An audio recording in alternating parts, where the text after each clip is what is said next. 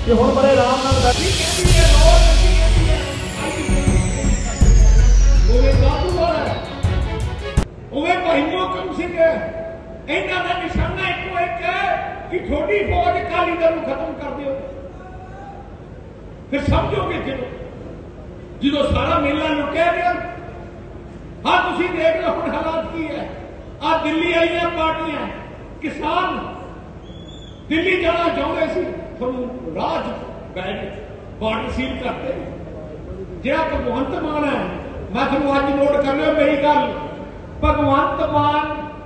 BJP ਨਾਲ ਰਲ ਗਿਆ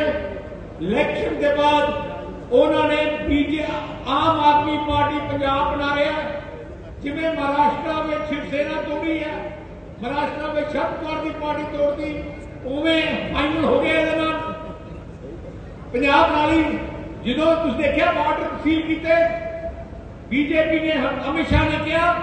इतों गोलियाँ चलावे बंब तो चुप करके बैठा रहे। चुप करके बैठा रहा क्यों?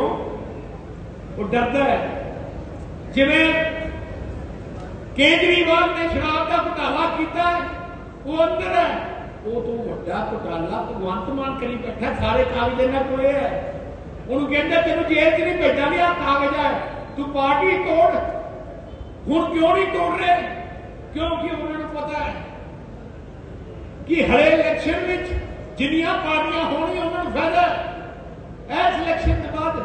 ਆ ਸਾਰਾ ਕੁਝ ਹੋ ਜਾਣਾ ਹੈ। ਹੁਣ ਜੇ ਅਕਾਲੀ ਦਲ ਦੀ ਸਰਕਾਰ ਹੁੰਦੀ ਤੁਸੀਂ ਸੋਚਦੇ ਵੀ ਹਰਿਆਣਾ ਸਰਕਾਰ ਦੀ ਹਿੰਮਤ ਹੁੰਦੀ ਕਿ ਪੰਜਾਬ ਦੀ ਧਰਤੀ ਉੱਤੇ ਗੋਲੀਆਂ ਚਲਾਉਣ ਸਾਡੇ ਬੰਦੇ ਅਕਾਲੀ ਦਲ ਤੁਹਾਡੇ ਪਾਰਟੀ ਹੈ ਤੁਹਾਡੇ ਅੱਗੇ ਬਜ਼ੁਰਗ ਬੈਠੇ ਹੋਣੇ ਆ। ਜਿਨ੍ਹਾਂ ਨੇ ਪੰਜ ਪੰਜ ਸੱਤ ਸੱਤ ਸਾਲ ਜੇਲ੍ਹਾਂ ਕੱਟੀਆਂ ਤੁਹਾਡੇ ਬਜ਼ੁਰਗਾਂ ਨੇ ਕੱਟੀਆਂ ਹੈ, ਬਾਦਲ ਸਾਹਿਬ ਨੇ ਕੱਟੀਆਂ। ਸਾਡੇ ਵਾਸਤੇ ਕੌਮ ਪਹਿਲੇ ਹੈ ਪੰਜਾਬ ਪਹਿਲੇ ਹੈ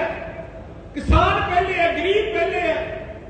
ਪੰਜਾਬ ਦੀ ਤਰੱਕੀ ਸਾਡੇ ਵਾਸਤੇ ਇੱਕ ਨੰਬਰ ਹੈ ਆ ਦਿੱਲੀ ਵਾਲੀਆਂ ਪਾਰਟੀਆਂ ਵਾਸਤੇ ਕੋਈ ਪੰਜਾਬ ਦੀ ਤਰੱਕੀ ਨਹੀਂ ਹੈ ਇੱਥੇ ਕੱਲਾ ਲੁੱਟਣ ਆਉਂਦੇ ਆ ਇੱਥੇ ਰਾਜ ਕਰਨ ਵਾਸਤੇ ਆਉਂਦੇ ਆ ਸੇਵਾ ਕਰਨ ਵਾਸਤੇ ਨਹੀਂ।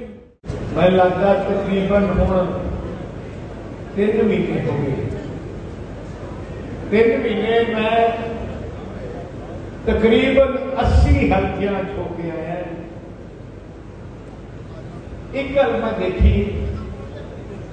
ਕਿ ਲੋਕਾਂ ਵਿੱਚ ਪੰਜਾਬ ਦੀ ਜਨਤਾ ਵਿੱਚ ਆ ਝਾੜੂ ਵਾਲੀ ਸਰਕਾਰ ਦੇ ਖਿਲਾਫ ਬਹੁਤ ਹੀ ਗੁੱਸਾ ਹੈ ਮਾਤਾ ਮਿਲੀਆਂ ਨੌਜਵਾਨ ਮਿਲੇ ਜਿਹੜੇ ਭਾਵੇਂ ਆਪਣੇ ਵਰਕਰ ਵੀ ਨਹੀਂ ਸੀ, ਜੇ ਮੈਂ ਯਾਤਰਾ ਜਾ ਰਿਹਾ ਸੀ, ਨਾਲ ਦੀ ਗੱਡੀ ਤੇ ਚੱਲ ਰਹੀ ਸੀ, ਗੱਡੀ ਰੋਕੀ ਤੇ ਭੱਜ ਕੇ ਮੇਰੇ ਕੋਲ ਆਏ ਤੇ ਕਹਿਣ ਲੱਗੇ, ਕਿਵੇਂ ਨਾ ਕਿਵੇਂ ਸਾਨੂੰ ਬਚਾਓ ਇਸ ਘਰ